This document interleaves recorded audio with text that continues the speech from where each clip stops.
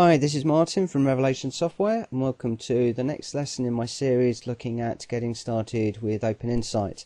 Uh, my cold is still lingering around, so I apologise for the sound of my voice, although it sounds pretty awful anyway. Um, but in the last lesson, we were looking at the Forms Designer, and we spent quite a fair bit of time. In this lesson, we're going to be looking at adding a tab control, so this lesson should be quite a bit shorter.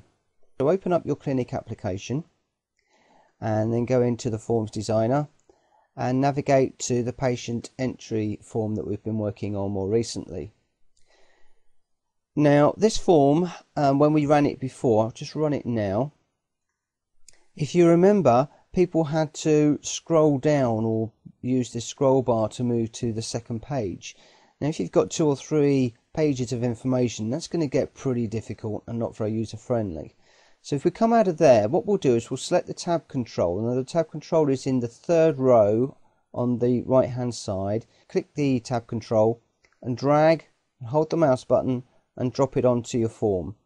Um, it doesn't really matter how you've put it on the form because you can very easily use these drag controls to move it around to resize it accordingly. Now if we try and run the form, you will find that the tabs don't actually work, as in that they don't go to the second page, we still get our date of birth and our bitmap showing, even though the tabs are actually moving. So there is a little bit of extra work that we need to do to the tab control. Now, I never remember what we need to do, the code that we need to write to make this work. But if we drop into the help system on the Forms Designer, and we go to the search, and in here if we just type tab control, and list the topics, and what we're looking for is the tab control properties dialog box. So double click on that to open up the help file and you'll see here that we get all of the information about the tab control, information about the different properties and things that are on there. But what we're interested in is right at the bottom here is manipulating the tab control. So the tab control has four events, click, got focus, lost focus and win message. And to manipulate the window via the tab control, we need to place the following code in the click event.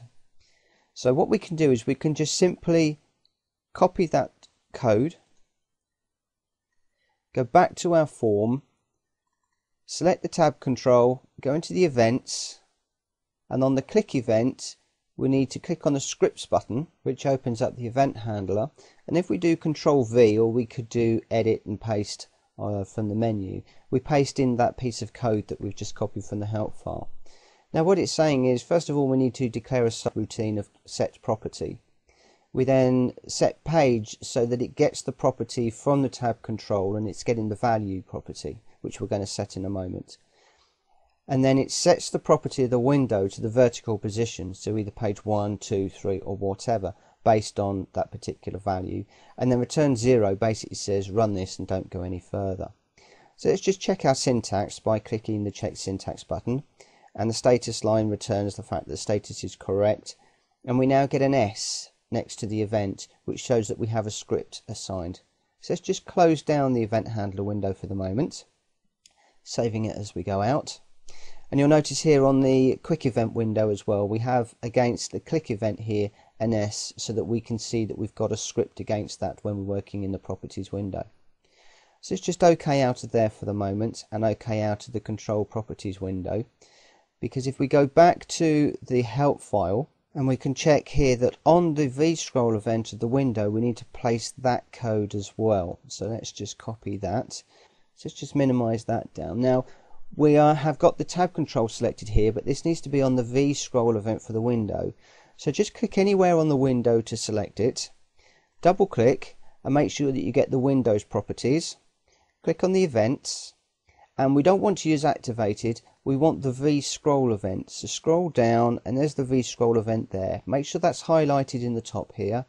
Then click our scripts button and control V the same way that we did before. So again declare subroutine. So we're declaring this set property subroutine. And then we're setting the property from the tab control we'll take the value and set the value um, for the for the V scroll event on the window so once we're happy, we'll just check the syntax. Syntax is okay. Close down the window, save it on the way out, and we'll just click OK to these particular windows here. Now if we test run the window and we click on the second tab, we find it still doesn't move. Now why does it not move when we set the code? The reason why it doesn't is we need to go back into the tab control and we just need to look at the control properties window because the value that we're sending back is tab underscore 1. Now we want to change that just to 1 and we want to change the second one to 2. And also the text on this doesn't look very good either. For instance, uh, for the first one we might want to have patient information which is a bit long. So I'm just going to change that to uh, just information. You might want to put something a little bit more sensible. On tab number two, we've obviously got our comments. That one's fairly straightforward. And I'm going to introduce a third one in here for later on. And this is going to be consultations.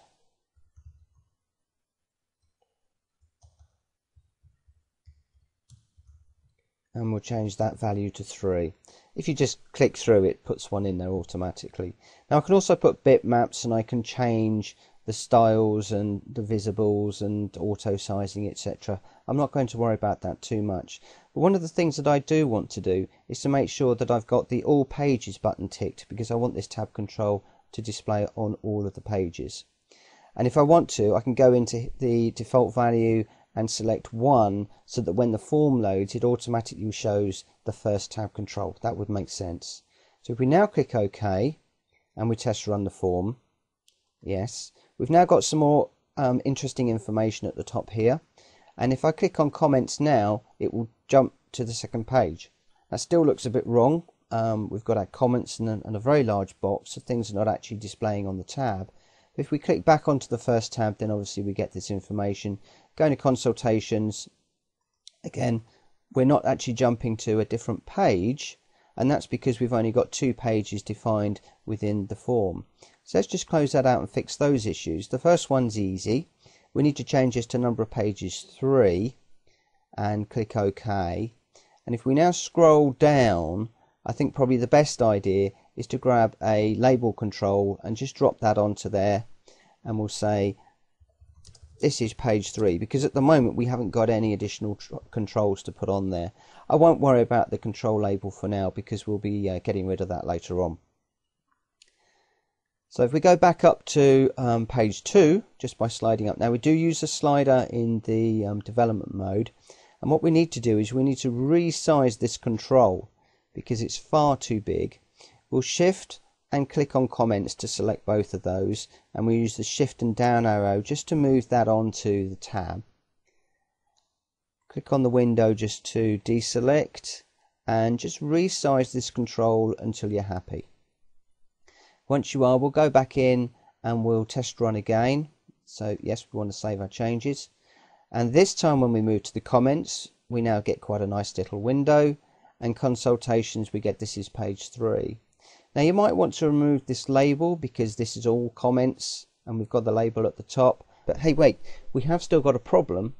We've lost our information at the top here. If we go back to number one, our hospital number and our name, when we click over, we can't actually see who we're working on. Yes, we could put it down in a status line if we wanted to, but I think what will be easier is if we go back to the form, go back to page one, and then we click on each of these controls and we just set the all pages. Now, the all pages property simply means that it, this control is going to show up on all pages of the um, of the window. So as we scroll through, we'll be able to see them.